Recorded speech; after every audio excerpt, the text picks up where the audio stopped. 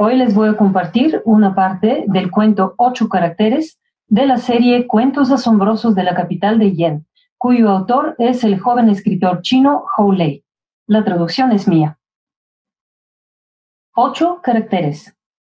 No hay otro lugar en el mundo donde a las mujeres embarazadas se les atienda con tanta atención y detalle como en la capital de Yen. Aquí no existen los ginecólogos particulares, ni siquiera las parteras. En ese lugar, cuando una mujer queda embarazada, obligatoriamente se le registra y se abre un expediente en un lugar denominado Hospital de la Bendita Felicidad.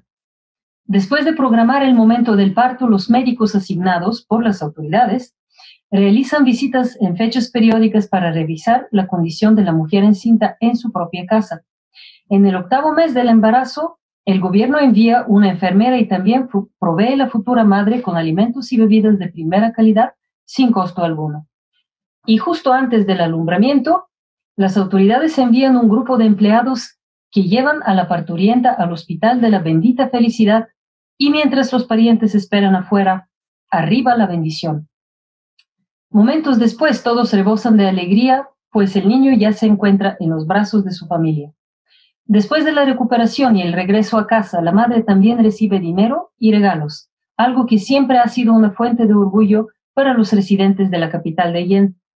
El motivo que en esa ocasión me había llevado a la capital de Yen eran los ocho caracteres, algo que cada ciudadano aquí poseía desde el día de su nacimiento y atesoraba por encima de todo. Los ocho caracteres resultan de la combinación de los diez troncos celestiales y las doce ramas terrestres y señalan el año, el mes, el día y la hora de nacimiento de cada persona. Del momento en que uno arriba a este mundo, su buena fortuna queda predeterminada por toda la vida gracias a esos ocho caracteres. Aquí, en la capital de Yen, ese tipo de adivinación era una habilidad tan común como la de hacer ravioles o tallarines. Fue precisamente esa la razón que me llevó a vivir en el patio trasero de aquel albergue, ese patio solo se podía alcanzar si uno atravesaba primero la entrada donde hacían y apiladas todo tipo de cosas, luego rodeaba el patio principal que se encontraba abarrotado de cocinetas y finalmente pasaba por el corredor con ventanas de rejas desbaratadas. Ese patio trasero era el lugar más tranquilo y recóndito. Ahí el pestillo siempre estaba el descorrido y la puerta nunca se cerraba con llave. Una noche la silueta oscura de una persona se deslizó tan sigilosamente como un gato por el patio trasero.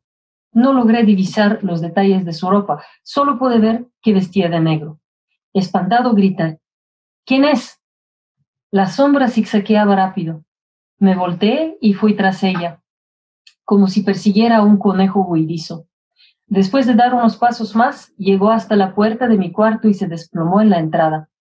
Cuando la alcancé, ante mis ojos la sombra se convirtió en una mujer joven que llevaba puesto un vestido negro. Le permití entrar en el cuarto. Un rubor infantil todavía iluminaba su rostro, que a cada instante cambiaba de color, se ruborizaba, luego palidecía. Después de un rato quiso sentarse. La ropa negra delineaba su contorno visiblemente abultado. Le ofrecí agua y una silla con respaldo. Ayúdame, no quiero dar a luz en el hospital de la bendita felicidad. Esas fueron sus primeras palabras. ¿Cómo termina este cuento? Van a saber un día cuando tengan en sus manos la antología Los 40 de la cuarentena. Hasta entonces,